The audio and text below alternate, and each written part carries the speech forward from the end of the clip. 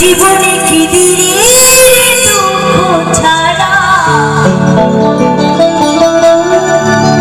ভালোবেসে করতে